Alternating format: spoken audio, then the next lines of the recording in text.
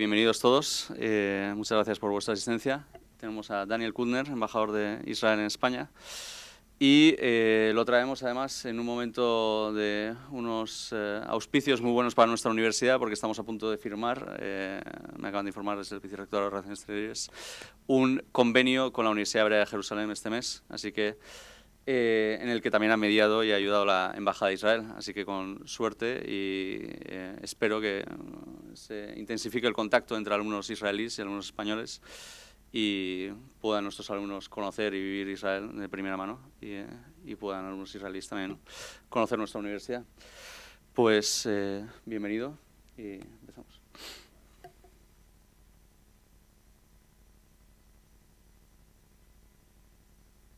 Ok, muchas gracias.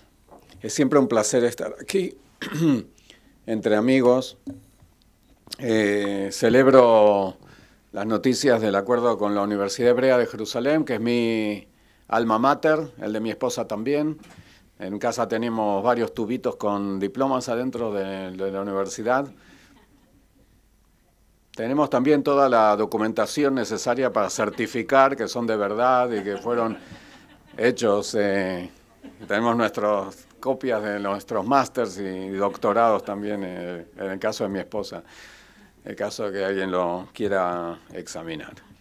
Bueno, eh, primero agradezco vuestra haberme invitado y agradezco también vuestra paciencia en la entrada. parte de, toda la digamos, precauciones que, que, son consecuencia de esta realidad de la que yo creo que vamos a hablar un poco eh, ahora.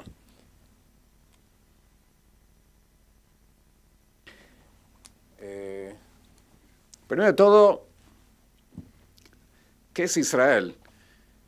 Hay algunos lugares donde hay que explicar más, conociendo el carácter de esta universidad, yo creo que es, eh, no tengo que explayarme excesivamente en eh, explicando que el Estado de Israel, por un lado, es un Estado nuevo. Hoy estamos en este, estamos creo que en nuestro 71 aniversario, o como se dirá, septuagésimo primero. Eh, pero en realidad tenemos profundas raíces. es un Estado nuevo y muy viejo. El nombre Israel, como sabéis, eh, proviene de la Biblia. Y es ahí donde nuestro pueblo, el pueblo judío, eh, eh, surgió o se desarrolló. Según la tradición, nuestras raíces más profundas están en Mesopotamia, tal vez, en Ur de los Caldeos, de donde salió el profeta Abraham, según la tradición, pero ahí es donde en, esta tierra, lo que llamamos en hebreo la tierra de Israel, es donde se, desarrolló nuestra civilización y donde nuestros antepasados, eh, al final de cuentas, compilaron lo que hoy conocemos como, como la Biblia. Y de donde fuimos eh, expulsados cuando los romanos perdieron la paciencia con nosotros, un pueblo que no se resignaba a someterse a los designios de, eh, Roma y por lo que estuvimos eh, sometidos a los caprichos de los gobernantes del mundo por cerca de dos mil años, en los que no fuimos eh, dueños de nuestro destino, donde eh, en el mejor de los casos éramos tolerados y en el peor exterminados. el movimiento nacional de los judíos es el sionismo y fue uno de los movimientos nacionales que surgió, digamos, en la segunda ola de, los movimientos nacionales en el siglo XIX, en la segunda, la segunda mitad del siglo junto con eh, otros movimientos nacionales en Europa Oriental y en eh, otros otras zonas del mundo, el movimiento eh, nacionalista en la India y otros de, esa época. Y nuestro objetivo era ser como, como todas las naciones y de esa manera ayudar a poner fin a dos mil años de exilio y dos mil años de persecuciones.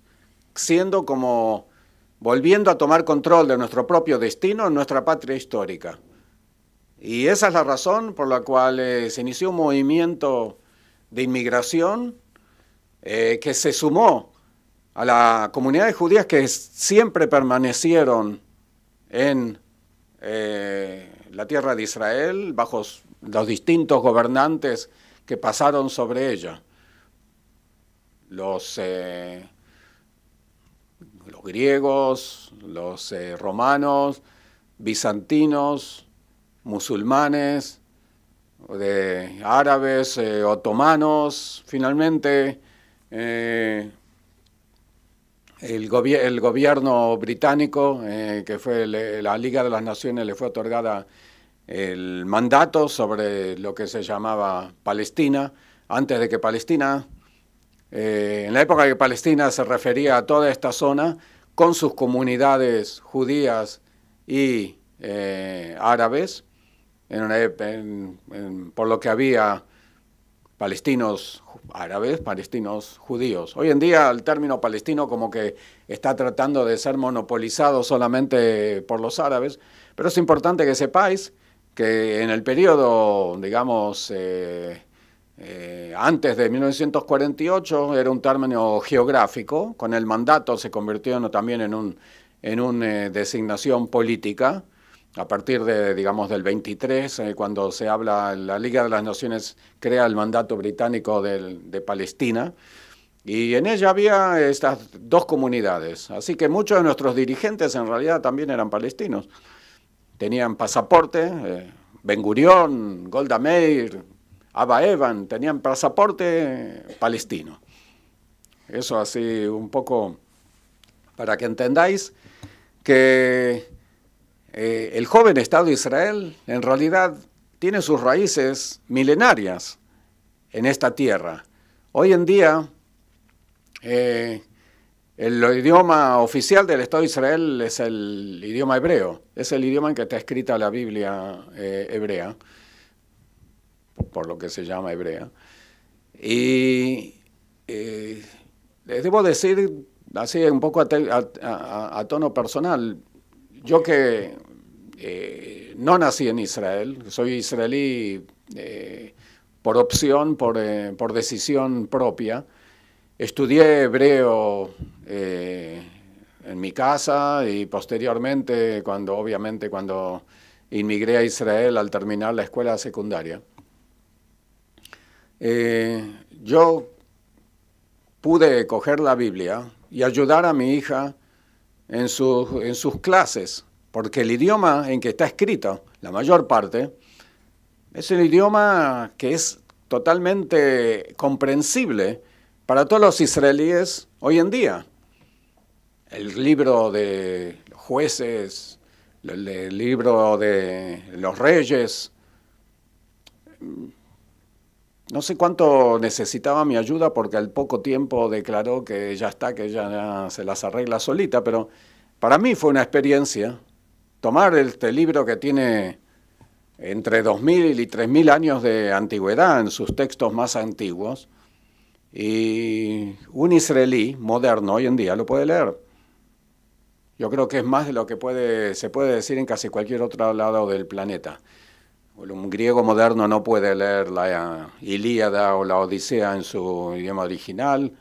Eh, por supuesto que acá en España no podemos agarrar un texto, no, no hablo de, de, hace 2000 años, de hace 500 eh, eh, años. el latín ha evolucionado y se ha convertido en el castellano moderno. Para nosotros, escarbamos en nuestro jardín, encontramos un artefacto del periodo del segundo templo, del primer templo, y podemos leer lo que dice. Podemos leer las, eh, los documentos, eh, los, rollos de, de, los famosos rollos del Mar Muerto, que fueron, eh, eso es científicamente determinado, escritos hace dos mil años, y, preservados milagrosamente por la sequedad de las zonas desérticas, un, un documento de hace dos mil años yo puedo mirarlo, está escrito así como en un rollo de pergamino, muy delicado, pero se puede claramente leer lo que dice. Y es el mismo texto que tenemos en nuestra Biblia hoy en día y se puede leer. Así que eso os demuestra, digamos, la, que aunque hayamos llegado de las cuatro esquinas del planeta, el pueblo judío tiene sus raíces aquí en la tierra de Israel y es ahí donde quisimos, donde en realidad eh, pudimos eh, recrear nuestra patria histórica. El Estado de Israel es, eh, no sé si alguno de vosotros os ha tocado ya estar ahí, es un país muy diverso. Yo no es, yo prefiero no llamarlo pequeño, yo lo llamo concentrado. Porque tamaño es estilo tamaño Valencia, la comunidad valenciana.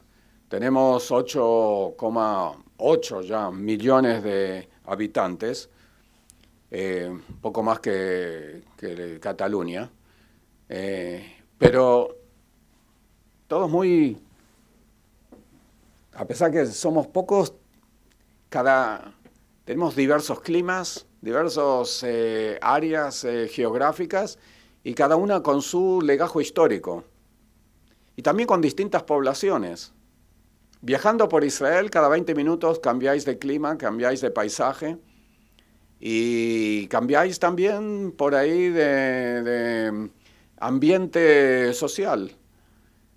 La diversidad para nosotros es eh, natural. Eh, en países que son eh, uniformes desde el punto de vista social, racial, disculpando la, palabra, cultural, a veces es difícil entender cuán diverso es Israel. Tenemos población, eh, mencioné el país judío, digamos, pero tenemos una, gran minoría que llega a 15-20% de nuestra población, que son árabes, de ellos la mayoría son musulmanes, y una eh, minoría cristiana, cristiana de distintas denominaciones. En Israel encontraréis representantes de iglesias cristianas que por ahí habéis conocido de la historia del cristianismo y que eh, hoy en día lamentablemente incluso están en peligro de extinción debido a, la represión bárbara de, los eh, eh, distintos grupos islamistas de los últimos años. Pero si vais al Santo Sepulcro, que acoge en su seno eh, representantes de casi todas las denominaciones eh, eh, cristianas, veréis, también caldeos y asirios y, iglesias que todavía usan el arameo o una versión del arameo como su lengua ritual o el, por supuesto los coptos en, que preservan el, idioma que deriva de aquel utilizado por los faraones en su momento.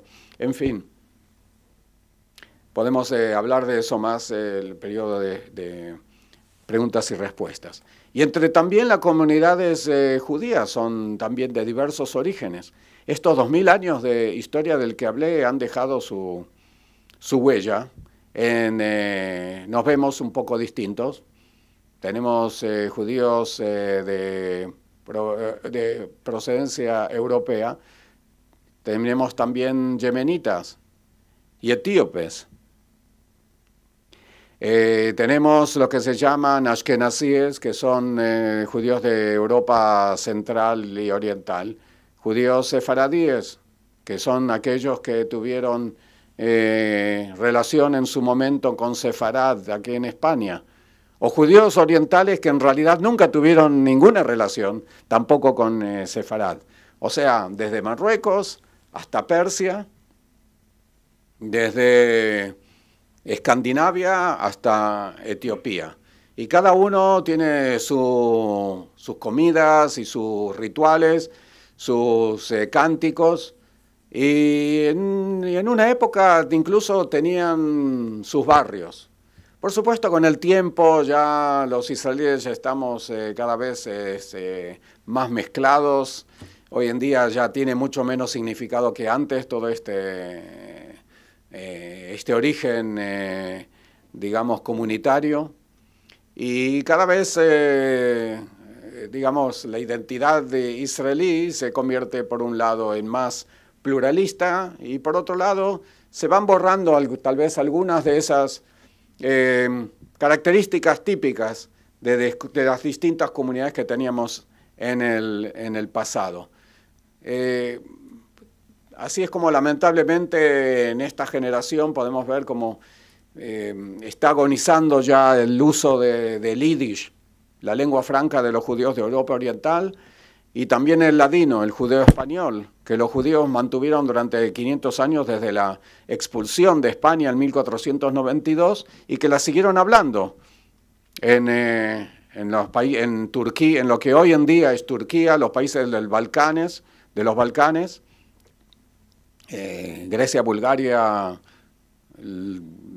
Serbia, etcétera, etcétera, y en otra versión también en el norte de África. En fin, país muy diverso en su y por lo tanto también eh, aprovecho la ocasión para invitaros a, que aprovechéis de las oportunidades que tenéis para visitar y verlos por vuestros eh, propios eh, ojos.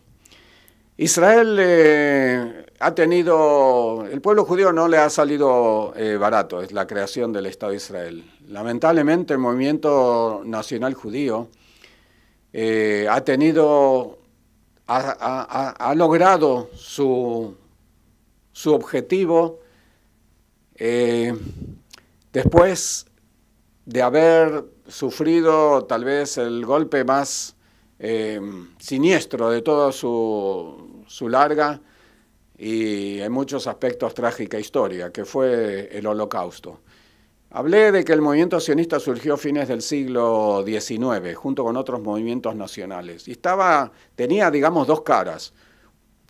Eh, una la llamo la cara, digamos, positiva o positivista, o sea, en el sentido de como otros movimientos nacionales quería realizar, quería llevar al resurgimiento de su lengua nacional, el hebreo,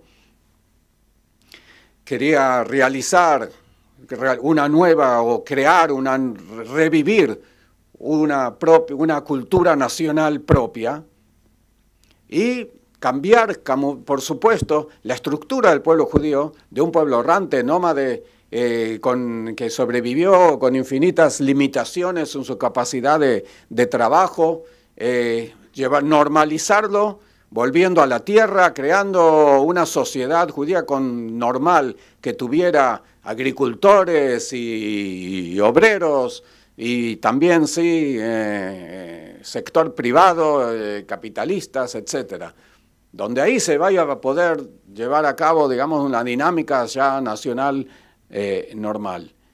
Y tenía también una cara, lo que yo llamaría Estoy tratando de encontrar otro nombre, pero digamos para eh, acortar, llamaremos negativa, que era la negación de la diáspora. Una, eh, en base a un análisis de la situación del mundo donde vivían los judíos a fines del siglo XIX, durante el principio del siglo XX, la situación de las, de las sociedades en las que se encontraban, un análisis que llevaba a la conclusión de que no había futuro para los judíos en el, mundo, eh, especialmente en Europa. Eso debido al nivel de, odio que existía y que parecía que no, no, eh, no, era disminuido por el avance de Europa en el área de la, después de la guerra de la, perdón, de la Revolución Francesa con el eh, el avance o la creación de las sociedades modernas. Las sociedades modernas lamentablemente no sufrían de menos antisemitismo, sufrían de un distinto tipo de antisemitismo. Y lamentablemente esa, ese análisis, esa profecía, se eh, resultó incluso más acertada de lo que todos querían. Y la destrucción de la judería de, Europa central y oriental y hasta en los territorios ocupados por los nazis durante la guerra mundial fue, digamos, una triste eh, ratificación del, seguramente a los ojos de los judíos mismos, de la necesidad imperiosa de crear un estado, un estado propio donde los judíos podamos defendernos por nosotros mismos y también llevar ahí a cabo esa revolución eh, eh, en nuestra cultura y en nuestra sociedad. Y como parte de esta cultura que hemos traído, hemos traído también, por supuesto, la, la, eh, cultura política de un que por un lado absorbió de las ideas de la ilustración europea y por otro lado la tradición de la comunidad judías en el mundo una tradición de, pluralismo, de discusión, de eh, lo que hoy llamamos eh, democracia. somos una democracia parlamentaria, tenemos un, eh, parlamento unicameral con 120 diputados, un sistema electoral en que todo el país es una sola región electoral y la gente vota por listas de acuerdo al número de votos, en forma proporcional, el número de diputados que de esas listas que entran al Parlamento. Y desde el principio se creó un sistema eh, proporcional, porque dada la diversidad de nuestra población, para que los distintos sectores se sientan representados en esta eh, Cámara de Representantes. Eh, este sistema, por supuesto, tiene sus ventajas y sus desventajas. Las ventajas, las mencioné, hay representación para casi todo el mundo. Las desventajas es que para formar un gobierno hace falta una coalición y como ahora España está aprendiendo, tal vez por, eh, las malas, para formar una coalición hace falta varios partidos y eso otorga exagerada fuerza a los pequeños partidos que al final de cuentas determinan si hay o no coalición. Ellos tienen una, fuerza, una fuerza electoral eh, tal vez desproporcionada. Pero nuestro sistema está ya acomodado a esa, eh, a esa situación. Tenemos eh, elecciones cada cuatro años, a menos que se adelanten, y en los últimos años siempre se han adelantado. Eh, y tenemos una Knesset eh, con una actividad eh, sumamente viva, tal vez algunos dicen un poco demasiado. si a algunos les va a salir alguna vez presenciar una, una sesión del plenario en Israel, veréis en qué medida la gente se toma las cosas a pecho y se discute, lamentablemente también se interrumpe.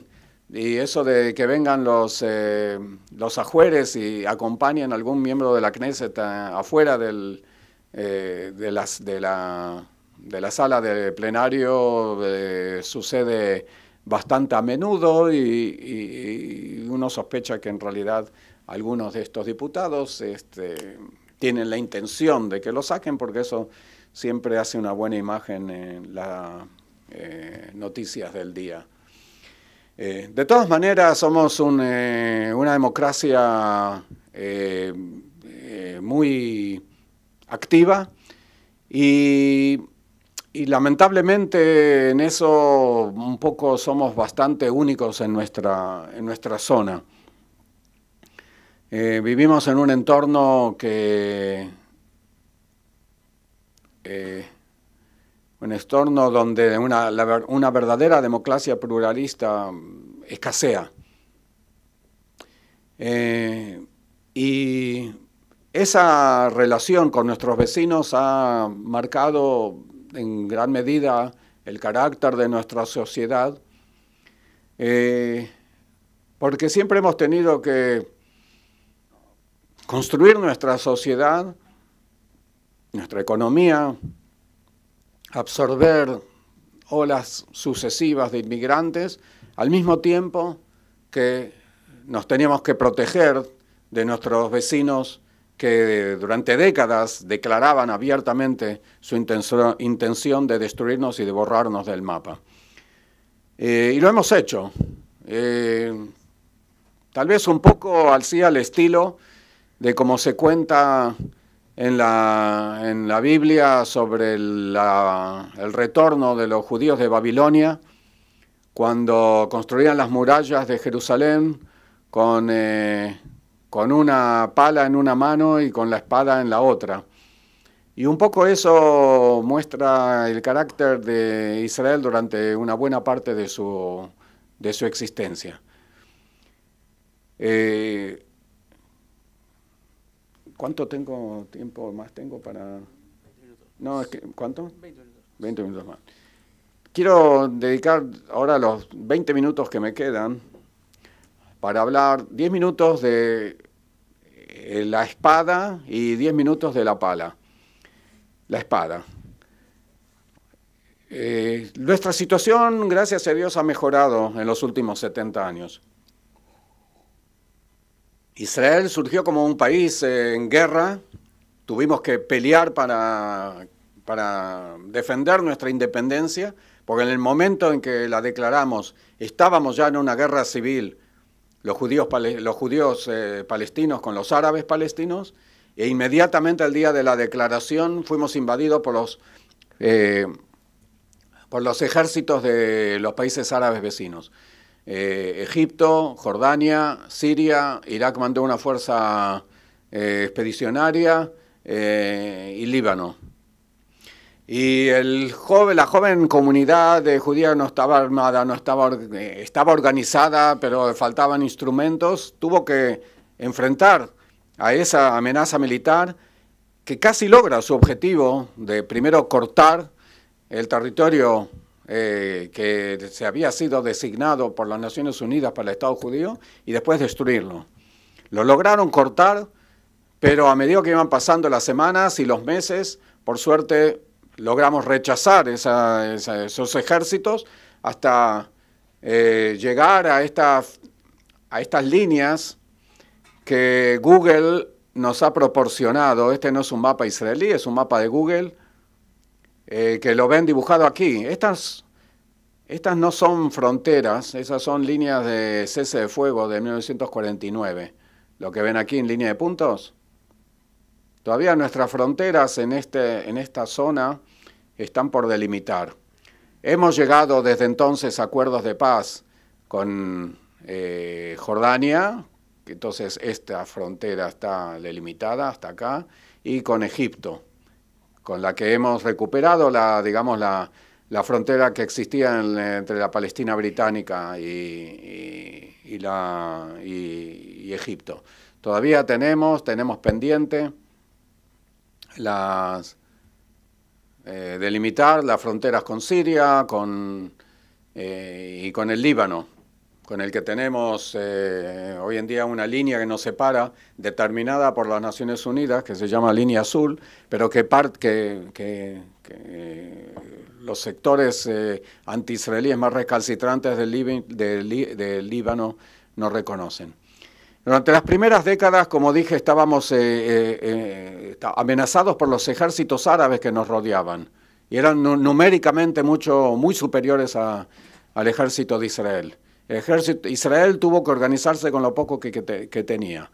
Un ejército estable, pequeño relativamente, y un sistema de reservas en la que participaba prácticamente toda la población masculina e incluso alguna de la eh, de la femenina que se reclutaba en, momentos de emergencia. Eso significaba, por supuesto, paralizar la economía del país y durante estas primeras décadas se movilizaba no solamente a, la gente, sino también a los vehículos. Eh, hoy en día muchos israelíes no conocen eso, pero eh, si uno tenía una pick-up, un camioncito, por supuesto, si tenía un camión, el camión también salía de servicio de reserva y se lo, devolvían después de la guerra. Eh, eso para mostraros el, tipo de, amenaza eh, existencial que en ese momento teníamos, eh, porque en esta época Israel no podía perder ninguna guerra, ninguna guerra sin, perder significaba el exterminio. con el tiempo algunos de nuestros vecinos entendieron que Israel estaba ahí para quedarse, los más sensatos. el presidente Muhammad Anwar al de, Egipto, eh, que liberó contra nosotros una de las guerras más difíciles que tuvimos que enfrentar en 1973. En 1977, en un acto igualmente revolucionario y lo que hoy llamaríamos disruptivo, hizo un acto de, guerra por otros medios. Tomó un avión y vino a Jerusalén a dar un mensaje de reconciliación desde nuestro Parlamento, la Knesset. Y ese fue el origen del proceso que llevó a una paz con Egipto en 1979 y que perdura con sus bajibajos hasta hoy en día, a pesar de que hemos tenido eh, incluso un, eh, un eh, capítulo de, de, Egipto bajo gobierno de una organización islamista que toda la vida había condenado al acuerdo de paz con Israel y lo sigue condenando, ¿sí? los hermanos musulmanes. La época de Mursi, después de varias semanas así de tensión, va a mantener el acuerdo de paz, lo va, lo va a denunciar, al final anunció de que iba a regañadientes, pero iba a respetarlo. Eh, en cambio, con, eh, con, Siria y con Líbano eh, todavía las cosas no, todavía estamos en, técnicamente en estado de guerra. Tuvimos nuestro momento de, optimismo con nuestros vecinos palestinos en los años 90, eh, en esta época de los acuerdos de paz, donde se inició un proceso en que se esperaba de que pudiéramos llegar a algún tipo de, reconciliación en base a una solución de dos estados, un estado judío y un estado eh, árabe palestino. Este proceso no ha tenido, no ha llegado todavía a su meta, eh, infinitas complejidades, en un gran eh, sentido de la desconfianza entre ambos pueblos y y ya hemos visto ya en los años 90, cuando estamos negociando, que para encontrar soluciones a los problemas que nos dividen, vamos a necesitar mucha confianza mutua. Y eso es algo que, eh, eh, debido al retorno de los palestinos al uso de la violencia, a partir de, del fines de los 90, especialmente con el levantamiento a la intifada del año 2000 y nuevamente eh, más adelante, eh, se ha perdido esa confianza que, hace falta. Hoy en día los palestinos no, están negociando con Israel, eh, prefieren actuar vía la comunidad internacional con la esperanza de que eso les, eh, los lleve a, lograr sus objetivos sin ellos mismos tener que hacer ninguna concesión. Eso va a ser eh, eh, complicado. Eh, estamos rodeados hoy en día, lamentablemente, de una zona en caos. en 2011 se hablaba de la primavera árabe, tal vez utilizando la utilizando la, el término que se usó para otras revoluciones pacíficas y y exitosas en otras partes del mundo, en Europa y tal vez en otros lados. Pero esa primavera árabe en el mundo, ah, eh, en, el, en, el, Oriente Medio, se convirtió en realidad en un, en un eh, invierno eh, islamista. Hemos visto el surgimiento de, movimientos islamistas ultra reaccionarios que querían volver al mundo musulmán, a la Edad Media, incluyendo sus valores y costumbres. Eh, hemos visto el derrumbe de los estados nacionales creados eh, después de la Primera Guerra Mundial y que hoy en día todavía hay signo de interrogación de si van a sobrevivir. Estoy hablando de Irak, prácticamente dividida, donde hay todo el eh, esfuerzo norteamericano y de otros de, mantenerlo unido, puede ser que llegue algún tipo de, arreglo. Siria, que se vio sumida en una guerra civil sangrienta, donde los mismos sirios bombardeaban con armas químicas a los otros sirios, donde un Estado totalitario y, cruel se enfrentaba a organizaciones de, oposición eh, islamistas y no menos eh, eh, extremas en su, en su visión. el gobierno de Egipto, un parangón de estabilidad desde el 5000 antes de la era común, por así decirlo, también de pronto se vio derrumbado por, una insurrección popular prácticamente, y todavía liderada por eh, los sectores que menos esperábamos, los que estábamos observando el tema de que iban a estar en la vanguardia de esa lucha. Libia, otra vez reducida a sus componentes básicos de los que, de los, que los italianos crearon en su momento a esta ente que se llama Libia, eh, Sirenaica, Tripolitania y, y el Sahel como frontera eh, del desierto. Yemen, que tiene un... Son como esos bailes en que las parejas se, separan y se unen, se separan y se unen y dan vueltitas, pero con mucho más trágico y con mucho más eh, eh, sangre por medio. También un estado sobre el que hoy en día eh, hay dudas de si alguna vez se va a poder componerse. Ante esta situación, Israel se debe a una extrema cautela. Detrás del horizonte tenemos eh, no solamente a nuestros, eh, a los que habían sido enemigos clásicos, sino tenemos a la República Islámica de Irán, que nos ha declarado por sus razones su enemigo y que en las últimas décadas ha llevado una política de desarrollo de una capacidad eh, nuclear militar acompañada por una capacidad misilística que ya está en pie hoy en día. Los misiles iraníes pueden, eh, cubren todo el territorio de Israel, aparte de Chipre, el sur de Grecia y otras eh, zonas también de Europa, así como Asia Central, etcétera, etcétera y aparte una política eh, hegemonista en el Medio Oriente, eh, que, en estos momentos está próxima a permitirle un puente. ¿Se ve la flechita? ¿Sí? ¿Se ve?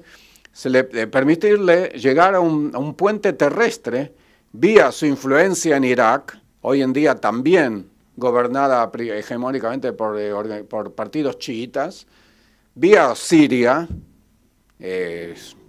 aliado incondicional, también liderado por una eh, gobernantes de una, de una secta minoritaria cercano al, al, Islam chiita, eh, hasta que llega, que les da salida al Mediterráneo y, por supuesto, Líbano, donde Hezbollah, la organización islamista chiita, hoy en día tiene un poder militar más, gran, más, más fuerte que el del ejército del Líbano y, es un factor que, con el tiempo se ha convertido en predominante en, su, eh, en el cuadro político.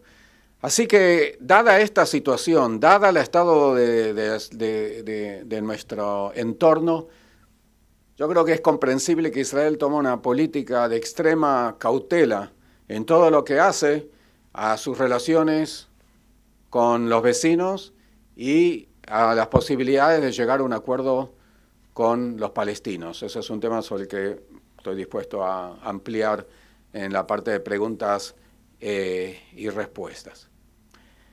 Pero este, estos grandes desafíos, no quiero, a veces yo hablo de de los desafíos eh, a la seguridad nacional de Israel y veo como la gente ya inmediatamente está buscando dónde queda el refugio más cercano, se esconde debajo de la mesa en el caso de que haya un ataque eh, sorpresa. Eh, no nos ha impedido hacer florecer nuestro país. Israel fue en la, primera mitad de su existencia, estuvo bajo gobierno de partidos de inspiración socialdemócrata, incluso algunos eh, más a la izquierda que la socialdemocracia, pero todos unidos a, eh, eh, a, este consenso en la necesidad de mantener el carácter democrático de Israel, aparte de su carácter social. Así que sobre este tema del carácter de la sociedad, y la dirección de la economía y la política económica que ha, eh, que, que haber, ah, hubo eh, un, cambio muy drástico entre nuestros primeros años como país, con, eh, muy estatista, con, una, con gobiernos, con, gobiernos que creían en, en, planeamiento para diversos sectores de esta economía nueva que estaba surgiendo, eh, que era necesario para crear estas nuevas ciudades, para eh, fomentar la, colonización en las, eh, en, las fronteras de lo que había sido las zonas agrícolas tradicionales, para introducir nuevos sistemas de cultivo en el desierto, para utilizar el poco agua que tenemos de una manera muchísimo más eficiente. Todo eso hizo falta que sea un gobierno central el que lo haga. Pero también hemos cambiado con el tiempo, especialmente después de la crisis económica que tuvimos en los años 80, que nos llevó a un, incluso a un ataque de, hiperinflación que causó, eh, como todas las crisis, un repensamiento sobre la dirección en que la sociedad y la economía israelí tenía que, tiene que ir. Eh, así que la Israel de hoy en día es muy distinta a la Israel de las primeras décadas. Es una sociedad impulsada básicamente con una economía, gracias a Dios, eh, en una buena situación, eh, pleno empleo prácticamente, 5 o 6% de...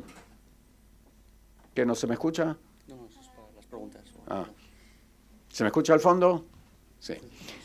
Está bien. El que, el que quiera preguntarse lo tiene. Eh, una economía clase de pleno empleo, con un crecimiento que este año va a estar como alrededor del 4%, eh, con un eh, sector que se ha desarrollado en los últimos, las últimas décadas de, alta tecnología, de, jóvenes compañías centradas en, en tecnológicas, lo que se llaman eh, startups, en castellano startup, eh, y que hoy en día son el locomotora de, nuestra economía. Por supuesto, tenemos infinitos desafíos ¿no? Hay que enfrentar. No quiero pintarles eh, un cuadro que es todo de rosa.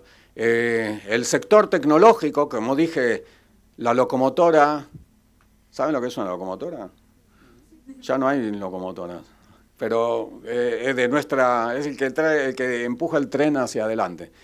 Eh, eh, producen el casi alrededor del 40% de nuestras exportaciones, pero nada más que emplean el 10% de nuestra mano de obra. Claro, es un 10% que está bien pagado, bien remunerado, aunque es un mercado de trabajo implacable, ¿verdad? Ahí a los 40 años puedes encontrarte como declarado eh, obsoleto, en fin, eh, como, eh, pero eso es lo que sucede hoy en el gran mundo.